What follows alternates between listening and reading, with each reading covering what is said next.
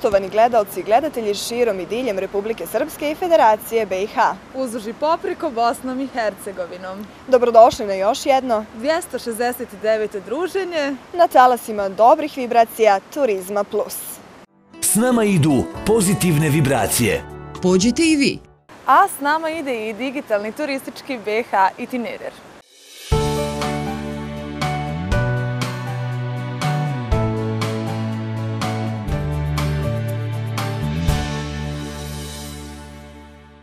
Oni gledalci koji redovno prate ovaj TV serijal već znaju da je to projekat za promociju BH turizma podpomognut inicijalnim sredstvima ambasade Sjedinjenih američkih država u BiH, a u kreaciji izvedbi Rotora, regionalne organizacije za razvoj turizma iz Doboja, Elta televizije i medijsko-poslovnog koncepta Turizam Plus projekat su se do sada uključile 53 općine, opštine te gradovi, turističke organizacije i zajednice, kao i drugi subjekti iz cijeli Bosne i Hercegovine. Projekat je i dalje otvoren za sve potencijalne buduće partnere mikrodestinacije, to jest jedinice lokalne samouprave koje u ova tegobna vremena žele da razvijaju turizam, a nemaju dovoljno potrebnih sredstava za efektnu promociju turističkih vrijednosti i atrakcija svoga kraja. Nešto više o dosadašnjem toku izvedbe projekta govori naš sljedeći prilog.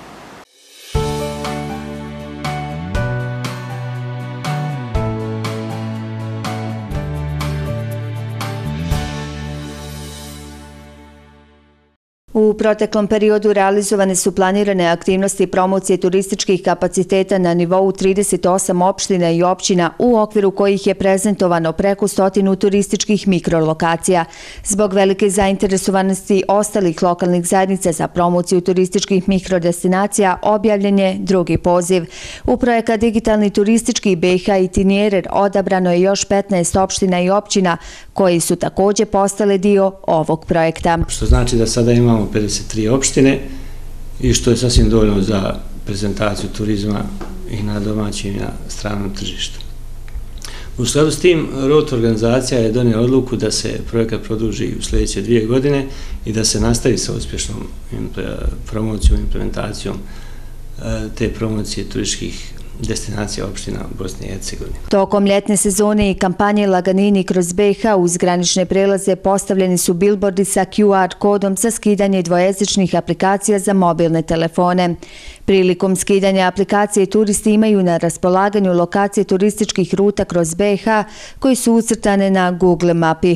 Uz pomoć savremenih navigacijonih uređaja u automobilima jednostavno mogu doći do preko stotinu turističkih destinacija. Podsjećamo, skidanje aplikacije je besplatno. Interesantno je da je zabilježen veliki broj skidanja aplikacije ne samo u Bosni i Hercegovini, nego i u državnom okruženju kao što su Srbija, Hrvatska, Češka, Slovačka, a i preko okeana u Sjedinjim američkim državama i Kanadi.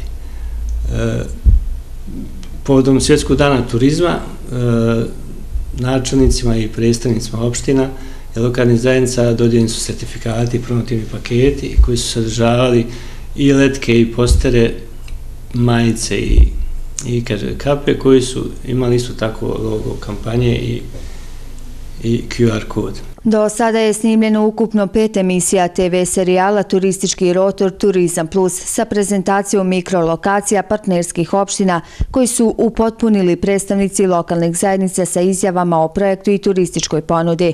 TV serijal se emituje na 25 TV stanica i kablovskih operatera u Bosni i Hercegovini. Emisije se također prevode na 20 jezika i postavljaju se na YouTube kanal Turistički rotor i na Facebook fanpage Turizam Plus. I tako su emisije dostupne 24 sata dnevno i 365 dana godišnje na, za sve zainteresovane turiste cijelom svijeta. Na YouTube kanalu Turistički rotor registrovano je oko 5000 pregleda. Pozitivni komentari gledalaca TV serijala potvrđuju uspješnu promociju turizma i pozitivno raspoloženje koje je potrebno za stvaranje gostoljubivog ambijenta u turističkim destinacijama. Toliko o projektu Digitalni turistički BH Itinerer, o kojem više možete saznati na YouTube kanalu Rotora.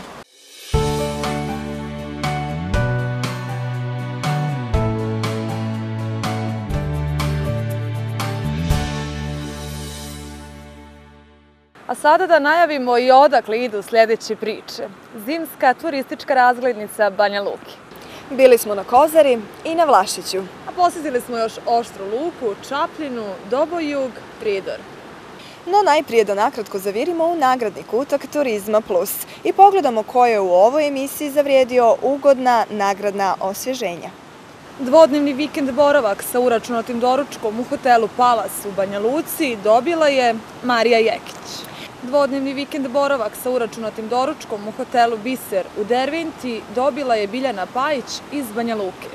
Dvodnevni vikend boravak sa uračunatim doručkom u hotelu Euro u Ođaku dobio je Mehmed Suljkanović iz Tuzle. Dvodnevni vikend boravak sa uračunatim doručkom u Grand hotelu Posavina u Brčkom dobio je Darko Vranješ iz Prijedora. Za putovanje s nama. Nemate troška. Nemate briga. Ovo je putovanje dobrog raspoloženja. Današnju šetnju lijepim turističkim stazama BiH počinjemo na atraktivnoj ljepotici Kozari. Naime, prije tačno 10 godina na inicijativu TV serijala Turizam Plus, tadašnji menadžment najvećeg hotelskog resursa na Mrakovici pokrenuo je manifestaciju održavanja pravog početka zimske turističke sezone. Turističke organizacije Prijedora i Republike Srpske prepoznali su valjanost ovog projekta, dograđivali ga i dorađivali, tako da je tokom godina ovo postala prepoznatljiva tradicionalna turistička manifestacija. Bosna i Hercegovina posjeduje dva nacionalna parka. Jedan od njih je Kozara koja se može pohvaliti bogatim biljnim i životinskim svijetom. Tu je i istorijski muzej koji čuva uspomenu na neka davna vremena. Osim toga, posjetioci ove turističke destinacije mogu uživati i u brojnim drugim sadržajima. Ovaj prirodni dragulj tokom prošle godine posjetilo je čak 95.000 turista, što je rekordan broj u posljednjih 20 godina. Nadležni tvrde da je tokom protekle godine dosta toga urađeno po pitanju unapređenja turizma. U 2015. godini smo nastavili sanaciju i ove putne komunikacije i obnovili smo sve ove mostove koji su bili na pješačkim stazama koje vode preko potoka u samom nacionalnom parku. Usto smo uradili i dodatno šest mostova na potoku Urmovcu koji vodi stazu prema Kozračkom kamenu. Uredili smo izvorište bijele vode koje je sad pretvoreno u jedno izletište. Zajedno sa Plinarskim skijaškim društvom Ljubijski rudar, mali ski lift, odnosno mala staza je uređena za drugačije, da kažemo, nešto je sad duža, sa manjim bočnim nagibom, drugačije kačenje na ski liftom, Pa evo, to je otprilike ono osnovno što smo mi u prošle godine uradili u nacionalnom parku. Za one koji žele da prespavaju na Kozari, tu su bungalovi, ali i hotel Monument i Bijele vode. Turisti u ovim ugostiteljskim objektima mogu uživati i u dobroj hrani, ali i raznim drugim sadržajima. Od 10. Eh, decembra smo u Novom Ruhu, ovaj, nudimo mnogo toga. Eh, domaće kuhnje, internacionalne kuhnje, mnogih specialiteta. Naravno, nalazi se tu jedan i soba. Hotel Monument e, nudi jedan e, širok asortiman usluga, prije svega od tog kongresnog turizma. Hotel ima 36 dvokrevetnih soba, 11 apartmana, 3 jednokrevetne, 4 luks apartmana, teretanu, saunu, valjda će doći na red jedan dan i taj bazen pa će onda i neki sportski tereni i vjerovatno će tada u, tom momentu sadržaj biti upotpunjen. E, godina koja je prošla, šta da vam kažem, u jednoj opštoj teškoj situaciji, u jednoj besparici, teško je ljude animirati, jer jednostavno neimaština je. Ali Kozara je uvijek interesantna i atraktivna, a ja kažem na Kozari je uvijek dobro i fino kad je lijepo vrijeme. A lijepo je vrijeme kad grije sunce i pada snijeg. Kozara je posebno privlača ljubiteljima zimskih sportova, posjeduje dvije ski staze za odrasle i djecu, a skijanje se odvija kada god to dozvoljavaju vremenski uslovi. Zajedno s Lopljinarskim skijaškim društvom Ljubijski udar već su započete aktivnosti na postavljanju novog ski lifta i još jedne staze skijaške koja će biti dužine 850 metara u, u, pored ove postojeće ski staze. Svi ovi poslovi će biti završeni u ovoj godini. Osim toga, u ovoj godini smo planirali i otvaranje infocentra za posjetioce u samom nacionalnom parku koji će imati jednu prirodnjačku zbirku da kažemo od uh, geološke podloge pa do biljnog i životinskog svijeta samog nacionalnog parka. Krajiška ljepotica bilježi veliku posjetu i prilikom održavanja manifestacije Dan zime na Kozari. Tada turisti iz cijele Bosne i Hercegovine dolaze kako bi uživali u sportskim igrama, kotliću, ali i čistoj i netaknutoj prirodi. Treba samo što više da omasovimo ovu manifestaciju, da je podržimo i da svake godine bude sve više i više. Zadovoljan se. Fino, fino da narod dođe, da se skupi, da se okupimo, da gajimo, da držimo do svojih običaja. To je divno. Prvi put sam ovdje, ali prekrasno je. To takmičanje ovdje vrijeme je poslužno, super. U Nacionalnom parku Kozara ističu da će nastaviti sa održavanjem pješačkih i drugih staza. Ono što je neophodno jeste izgradnja infrastrukture i putne komunikacije prema Kozarskoj dubici. To bi u velikoj mjeri doprinjelo u napređenju turizma na Kozari. Manifestacija na Ljepotici Kozari, dakle, privukla je brojni posjetio se iz svih krajeva Republike Srpske, Bosne i Hercegovine i šire regije. Naravno, bilo je tu i mnogo prijedorčana, stanovnika grada koji već dugi niz godina odvaja značajnu pažnju za razvoj turizma. Da pogledamo i prilog o tome kako je u Prijedoru izgledala prošla turistička godina i šta se očekuje u ovoj. To je tematski okvir o kojemu su razgovarali naši reporteri u svim mjestima iz kojih smo pripremili priloge za današnju emisiju. Prijedor je grad koji ima brojne turističke sadržaje i potencijal da se razvije u privlačnu turističku destinaciju. U turističkoj organizaciji kažu da se konstantno radi na poboljšanju uslova za razvoj turizma, a u prvom planu je izgradnja infrastrukture. Tokom protekle godine zabilježen je porast broja dolazaka turista i noćenja. Iako zvanične podatke Zavode za statistiku Republike Srpske još uvijek nemamo, ali jedan od pokazatelja porasta broja dolazaka i noćenja je uplata boravišne takse za grad Prijedor. U gradu Prijedoru prethodne godine završena je rekonstrukcija zgrade pozorište Prijedor kao jednog od bitnih objekata za razvoj, prije svega kulture, ali i turizma. Osim navedenog, u 2015. godini se radilo na uređenju okoline, a što je podrazumijevalo očišćenja obale i korita rijeke Sani, kao i drugih manjih riječnih tokova. Na području grada Prijedora obilježene su tri biciklističke rute i tri mont bike rute. Kada govorimo o turizmu u Podkozarju, nikako ne smijemo izostaviti Nacionalni park Kozara.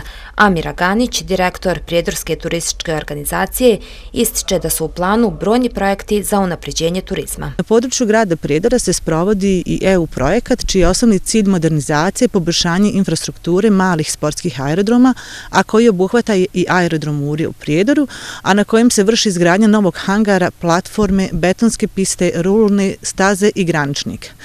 Za aerodrom Urije i, i e, aerodrom Prijedor E, projektom je predviđena kupovina specijalne vazduhoplovne opreme kao i tri edukativne aktivnosti za učesnike projekte, a koji su vezane za vježbe potrage i spasavanja. Trenutno je u zgradnji i uh, trenutno je u Prijedoru i u zgradnji etno selo Đalnagić u Kamičanima kao jedan od značajnih kompleksa koji će doprinijeti razvoj turizma grada Prijedora. I građani Prijedora smatraju da ovaj grad ima potencijala da postane prava turistička destinacija. Mnogi od tih potencijala su nedovoljno iskorišteni. Što bi Englezi rekao, oh yes, no. Kako da ne, ovo je jedan veliki grad, ovo je jedna velika metropola. Ovo je najveći grad u Republike Srpskoj on ima svih potencijala da bude veliki turistički grad. Znači ima Mrakovica, ima okruženje i to je to. Pa naravno, Prijedor e, ima potencijala da se razvija kao turistički grad, jer ipak ovaj grad je između dvije planine, dakle između Grmeča i Kozare. Tu su i naše ljepotice, rijeka Sana, ovaj, Prijedor ima još rijeka ovih manjih kao što je Bere Gomenica. Turistička organizacija svake godine izrađuje brošure sa podacima o turističkim mjestima, koja su od velike koristi za turiste. U svrhu promocije izrađena je i Android aplikacija na kojoj se mogu pronaći sve informacije. Prijedor ima sve mogućnosti i za razvoj seoskog turizma, a ono što ne ide u prilog tom segmentu jeste postojeća zakonska regulativa i visoka stopa poreza koju plaćaju vlasnici seoskih domaćinstava. Prijedor je grad koji ima šta da ponudi, zato ukoliko ste u prilici posjetite ga i uživajte u svim njegovim čarima. Sada ćemo malo u središnju Bosnu, do Travnika pa uz Brdo, do Babanovca. Naime, Vlašić je ove godine, ili tačnije rečeno ove zime, krenuo u zimsku sezonu ranije od ostalih zimskih centara, jer bilo je snijega, a i pripreme su na vrijeme obavljene. Pogledajte reporterski zapis o zimskoj turističkoj sezoni na Vlašiću. Krajem 70. godina prošlog vijeka Vlašić je proglašen najuređenijim zimskim centrom u bivšoj Jugoslaviji. Zbog svog položaja odavno je dobio status vazdušne banje. Planina Vlašić nalazi se u centralnom dijelu Bosne i Hercegovine i zauzima izuzetno mjesto u turističkoj ponudi i naše zemlje. Turistički radnici svjedoče da je svaka sezona sve bolja. Ove se bilježi povećanje broja posjeta i noćenja gostiju za skoro 600. Struktura domaćih i stranih gostiju ide u korist stranih gostiju. Do prije dvije, tri godine tu smo imali u strukturi otprilike oko 80% domaćih gostiju. Ove godine broj domaćih gostiju pao na 63%, znači povećao se broj stranih gostiju, što smo jako zadovoljni, jer smo i marketinški jako puno radili ove godine kako bi Vlašić zaista bio destinacija koja je prepoznatljiva i po svom imidžu i po brendu. Najbrojniji strani gosti trenutno su iz Hrvatske, slijede oni iz Austrije, Njemačke, Srbije i Turske. I hotelijeri su zadovoljni, većina njih bilježi bolje rezultate u odnosu na prošlu godinu. Najbitnije je, kažu u hotelu Blanka, da se gosti nakon prvog dolaska i vrate. Već u 2016. vidimo da nam se ti isti ljudi vraćaju i dobijamo novi. Mislim da je tu ono najbitnije. S druge strane, širimo tržište skroz do Bliskog istoka, e, gosti i susjedi nam Hrvatske još uvijek dolaze i već u, sada u januaru vidimo da će i ova godina biti puno bolja od 2015. koja nam je u suštini baza za dobro poslovanje.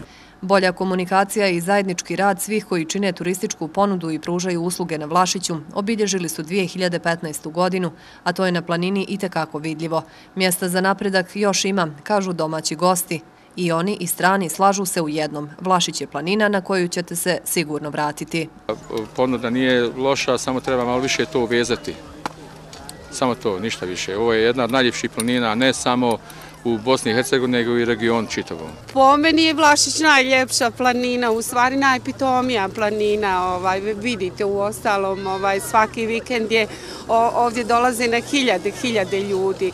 Naravno volim ovaj, prirodu, volim i Jahorinu i Bjelašnicu, ali Vlašić nekako imam posebno mjesto u mom srcu. Došao sam ovdje na par dana, evo uživamo, lipo je vrijeme, snig, staza radi, domaći proizvodi se prodaju kod domaćih ljudi, super, evo, ja sam oduševljen, šta da kažem. Što se tiče odmora, što se tiče ovako ponude, svima je preporučio da dođu da vidi kakva je ovdje ponuda, kakvi su uslovi, šta se nudi, prezadovoljni smo u svakom smislu, tako da ne bi mijenjali ovu našu ljepoticu. Ne znam šta bi se tu još moglo dodati, jer izgodno ugodno vidim da je svaki puta sve ljepše i bolje i bolje. Samo, mislim, jedino da dođu svi da se uvjeri, jer teško je to nekome objasniti da vidi čar ljepote ovih. Snijeg je ove zimske sezone prvo pao na Vlašiću, a ovdje se zna zadržati jako dugo. Ovdašnji skijaši kažu da su pred kraj 2015. kada ni na jednoj drugoj BH planini nije bilo uslova za skijanje, staze spremno dočekivale skijaše i bordere. Pa mi trenutno radimo sa nekih desetak kilometara staza, radimo sa ova dva lifta tu i imamo naš lift Markovac. Također na Vlašiću imaju u ponudi dva baby lifta, to je Ecofist E, sjedišnica dvosjed i imamo kod hotela Sunce također dva, dva lifta, vučnice su kao i kod nas ovdje. Ako ste na planini prvi put i trebaju vam neke smjernice, naći ćete ih u turističko-informativnom centru na Babanovcu. Ovdje je i ambulanta čije postojanje je u toku sezone od velikog značaja za turiste. Na Babanovcu od članova asocijacije organskih proizvođača Srednje Bosanskog kantona možete kupiti proizvode karakteristične za ovaj kraj. Kupuju se ovdje i suveniri, ali i odjeća i hrana. Mi u mojoj obitelji imamo znači certificiranu organsku proizvodnju. Proizvodi se su znači na bazi iskorištenja autoktonih sorti voća prevashodno. Imamo znači proizvode iz animalne proizvodnje. Kad je u pitanju recimo moj štand, e, traže recimo pčeljnje proizvode, proizvode na bazi voća, recimo tu imamo ovako neke prerađevine od voća. Zimska turistička ponuda je na ovoj planini u njenim trenutnim kapacitetima izuzetna, a ono što se planira je unapređenje ponude u toku ljeta. Pojedini hoteli su čak i prošle sezone imali bolje rezultate u ljetnoj u odnosu na zimsku sezonu. Znak je to da Vlašić polako postaje i nezaobilazna ljetna destinacija. Nekoliko novih specializovanih turističkih proizvoda, cilje koji je turistička zajednica postavila za narednu godinu. Uvođenjem više ponuda u planinarenju, brdskom biciklizmu i fly fishingu će, nadaju se, privući veći broj turista.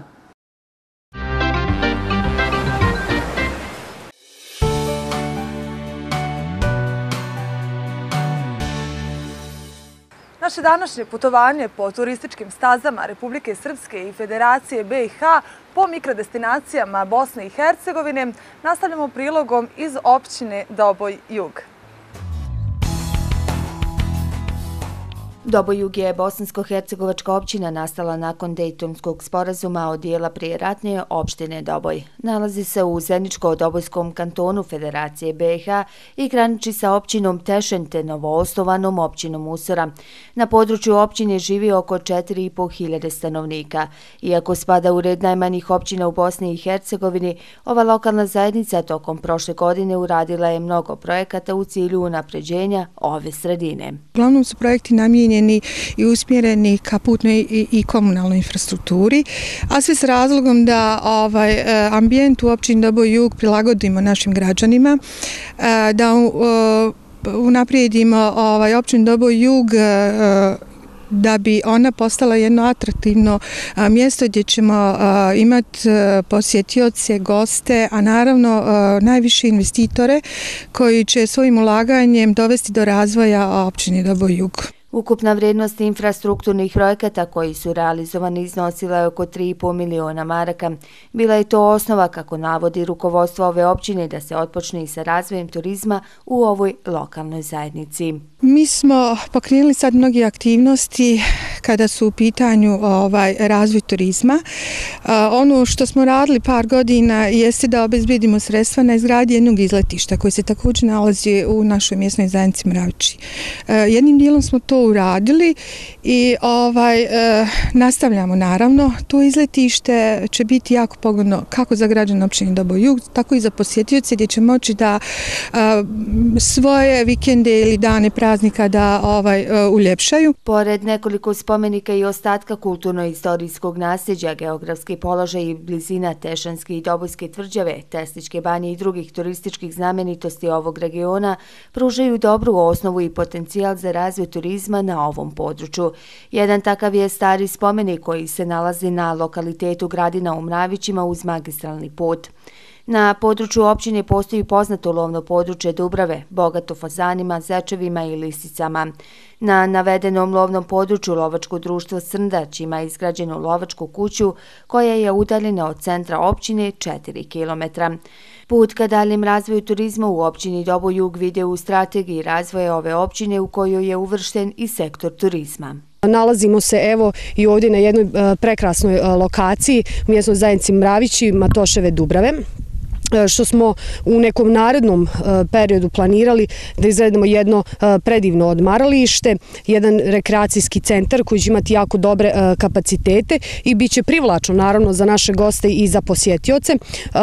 Sa moje desne strane već su na neki način i počele pripreme za izgradnju nogometnog stadiona koji će također biti u sklopu te naše priče koje smo zamislili. Znači bez obzira što jedna općina Dobo Jug trenutno nima nešto ovaj, o čemu bi mogla puno da priča kad je u pitanju turizam, Nastojat ćemo da to ovaj unaprijedimo. Razvoj turizma uveliko može dopriniti razvoju ove općine, smatraju mještani. Tvaranje turističkih ili objekata ili nekih šta ja znam doprinijet će svakako razvoj naše i opštine i lokalnom razvoju. Samo treba da se nađu potencijalni ulagači koji će uložiti u opštinu i da se otvori turizam i da se otvori i drugi, druga radna mjesta osim na ovoj opštini. Ima puno mogućnosti, imamo jednu divnu rijeku divnu rijeku Bosnu. Imamo možda na, čitavo, na čitavom njenom toku najatraktivnije mjesto za ribolovu. To je valjda svima poznato. Ali šta bi se sve moglo izgraditi na toj istoj tom lokalitetu, to je da ne povjerujete. Zacrtani ciljevi za unapređenje ove mikrodestinacije u općini Doboju kažu mogu se postići samo kroz održivi razvoj i maksimalnu brigu za prirodu i kulturno-istorijsko nasljeđe. Po njima, ključ razvoja leži u ljudima.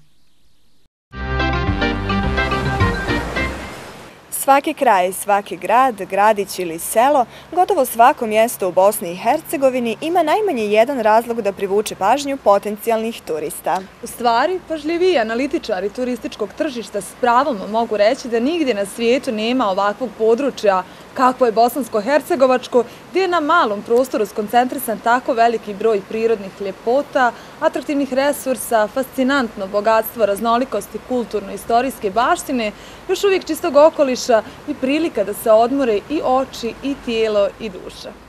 Mnogi od vas ne znaju niti su bili u mjestu Oštra Luka. Ako je već tako, onda krenite s nama i pogledajte šta je u tom kraju zabilježila naša reporterska ekipa. Opština Oštra Luka smještena je na lijevoj obali rijeke Sane u podnožju obronaka Majdanskih planina na regionalnom putu Prijedor-Sanski most.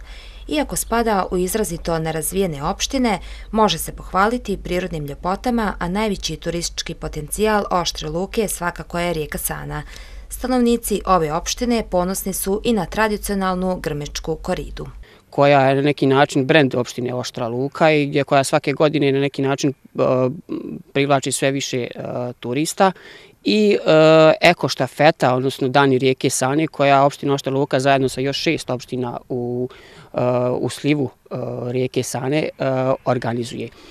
To su, da kažem, neke nekakve još uvijek osnovne pretpostavke.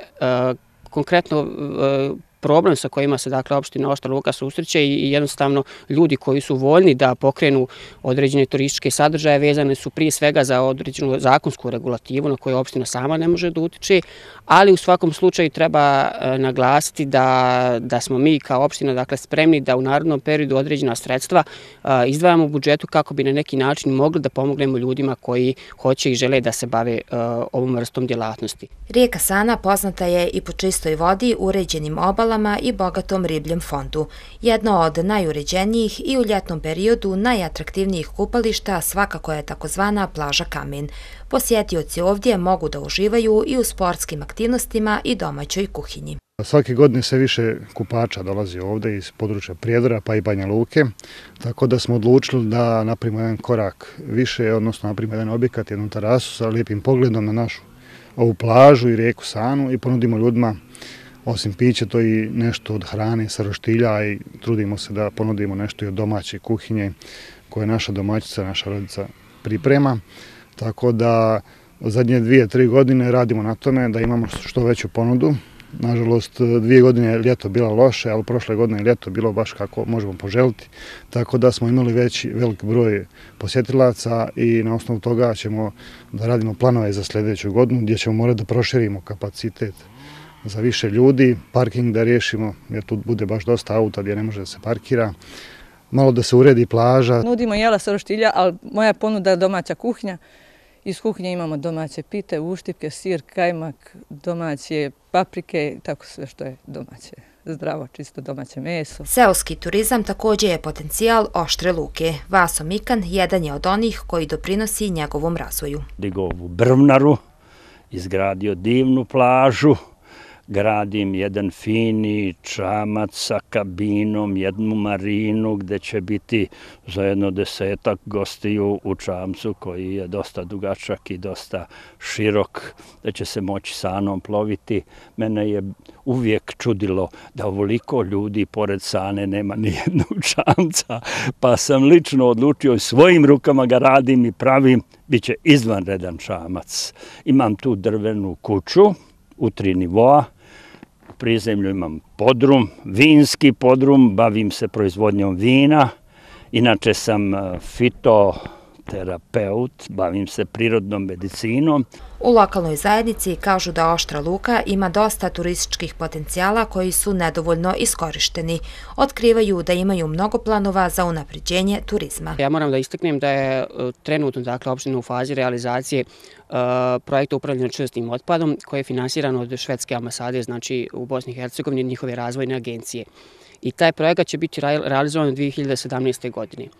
E, takođe, e, agencija, odnosno bolje rečeno nevladna organizacija Exit iz Banja Luke ove godine aplicirala e, prema Evropskoj komisiji vezano za takođe jedan projekat u kojem opština opština Ošta Luka učestvuje kao partner, a vezan je jednostavno za e, stvaranje pretpostavki kako bi se dakle ovo područje zaštitilo od, od, od poplava. To je, dakle, ta vrsta pretpostavke, ali ona će imati određenu vrstu turističkog sadržaja e, zbog toga što bi, dakle, e, opština trebala da dobije određeni broj i raftin čamaca na na upotrebu.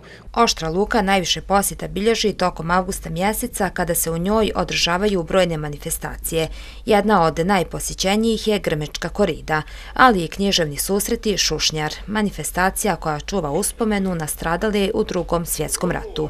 U svakom slučaju, naša preporuka je da, ukoliko se nađete u Oštroj Luci, da posjetite neke od navedenih turističkih potencijala.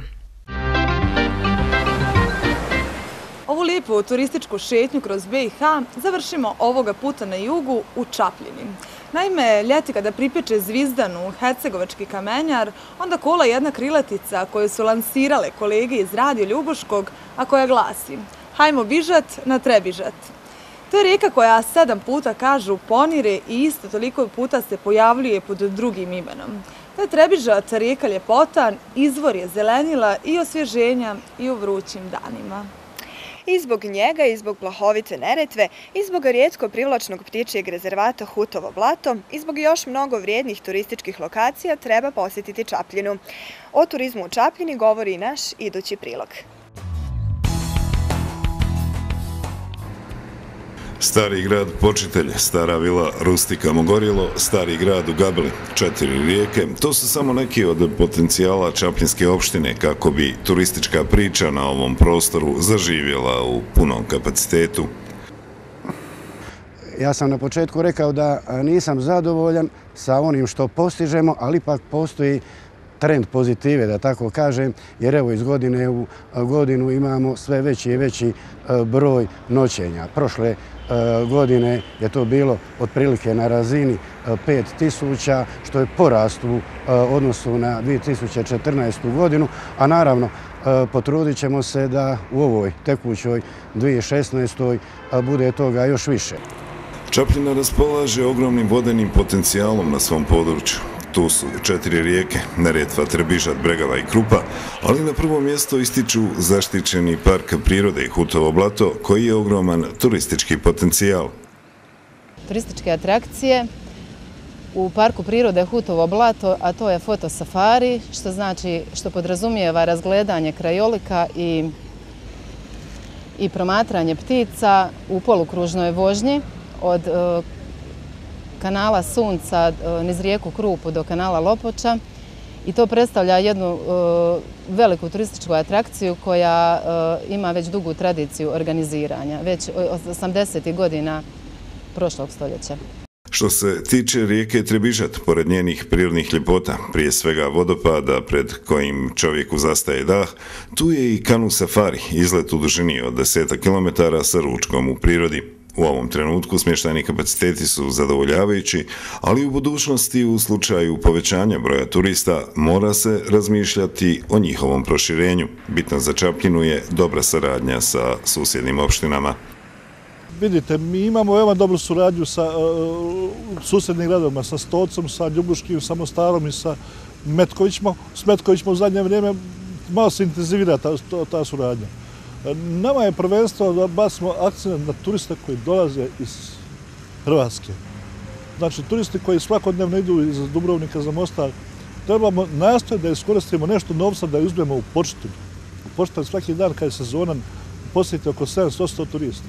Treba nastojiti ubrati taj dio kolača koji nam nas Lider u Čaplinskom hotelijerstvu je hotel Mogorjelo, koji raspolaže sa 38 komfornih soba i tri luksuzna apartmana. Za ovaj objekat značajno je reći da organizuje razne vidove kongresa od lokalnog do međunarodnog nivoa, a značajna je lokacija hotela koja je na raskrsnici puteva Sarajevo, Split i Dubrovnik. Poznata imena i u svjetskim razmjerama zadovoljni su bili njihovim uslugama.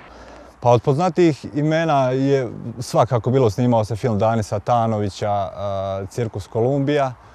Na području Čapljine i cijela ekipa je boravila kod nas u hotelu dva mjeseca otprilike. A isto tako ovo ljeto, treću godinu za redom je poznata svjetska glumica Monika Belucci boravila kod nas u hotelu i konačno ove godine je završeno snimanje filma Emira Kusturice sa Monikom Belucci u glavnoj ulozi. U turističkoj ponudi jednog mjesta značajnu ulogu ima i gastronomija, kako autohtona jela, tako i ona gdje se kvalitetna sirovina može nabaviti u samoj blizini mjesta. Svi ću vam reći za specialitete od jegulje, žaba, ali i biftek od domaće govedine. Specifično za naš objekt je recimo biftek, koji se jako dobro prodaje, e, koji je dosta ukusan. E, Meso se nabavlja iz e, lokalnih mesnica, znači domaće. I tako da je to oko prilike nešto po čemu smo mi, ajde da kažem, specifični i posebni. Što se tiče dolaska turista i svega, šta bi im preporučio? Pa ovdje se, ovdje se, ovdje se uvijek uh, za pravu feštu sprema uh, jegulja,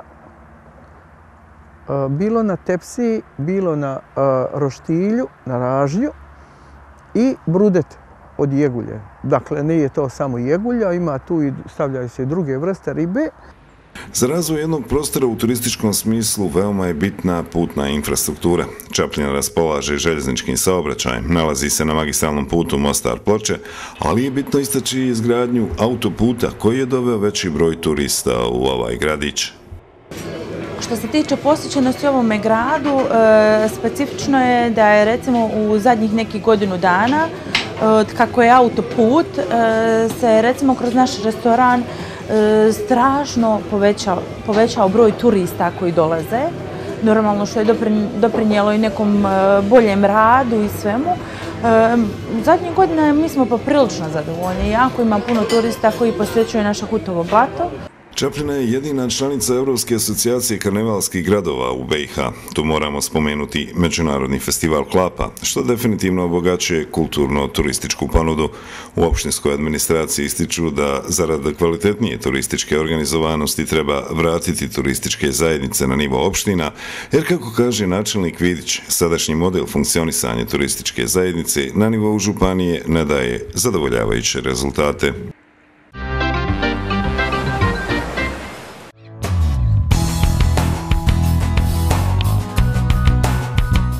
Ima jedan grad na obalama rijeke Vrbas.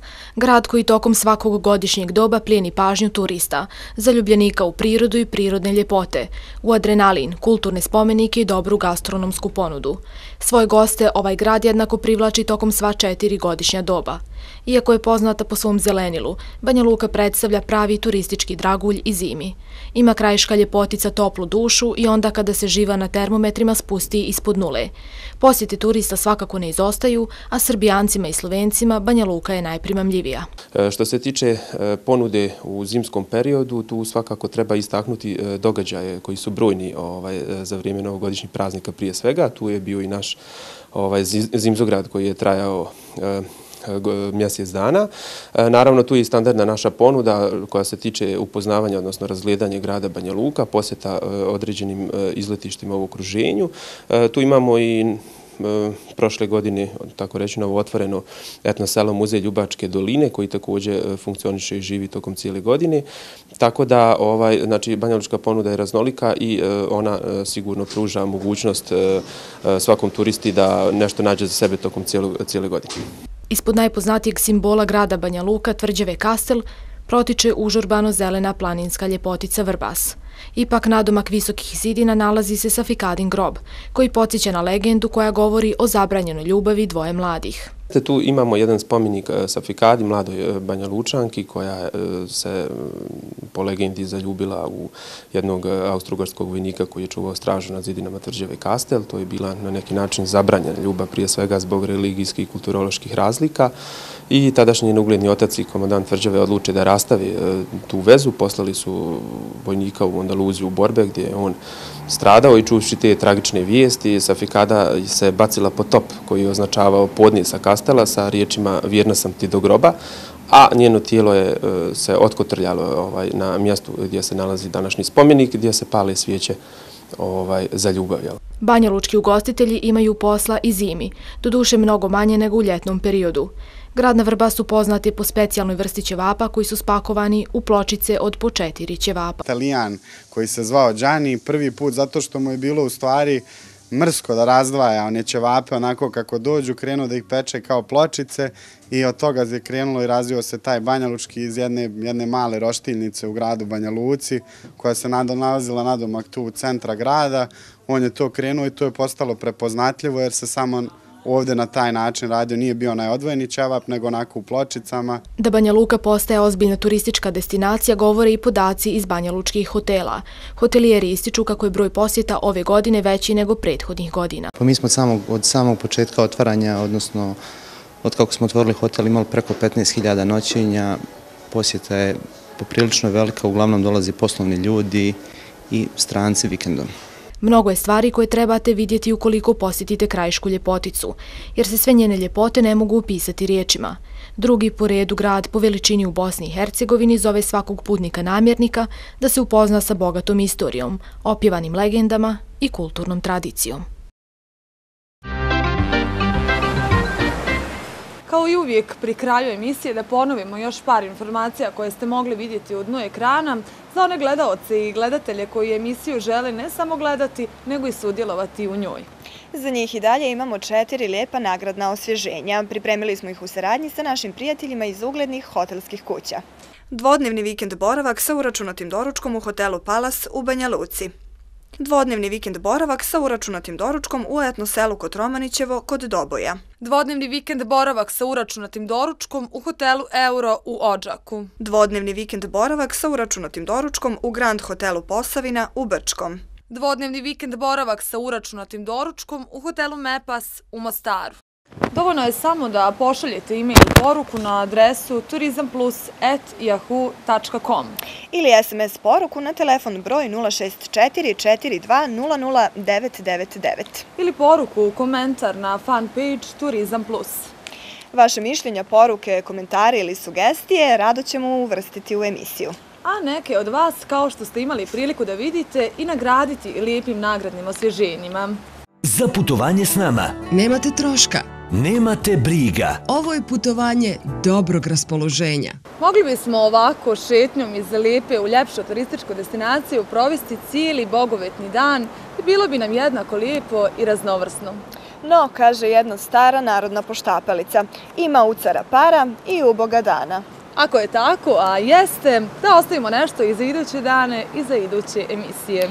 Danas smo evo došli do kraja 269. izdanja TV serijala Turizam Plus u sedmoj godini njegovog postojanja. S nama idu pozitivne vibracije. Pođite i vi. I dalje putujemo kao i do sada na talasima ugodnog druženja, dobrog raspoloženja i pozitivnih vibracija. Vidimo se i dalje na programima 25 TV kuće i kablovskih operatera u BiH, a putem društvenih mreža i u drugim zemljama u susjedstvu i u svijetu. Emisija se može pratiti i na brojnim svjetskim jezicima. Do našeg ponovnog viđenja, a to je početkom idućeg, to jest prvog proljetnog mjeseca u 2016. godini, srdačan turistički pozdrav!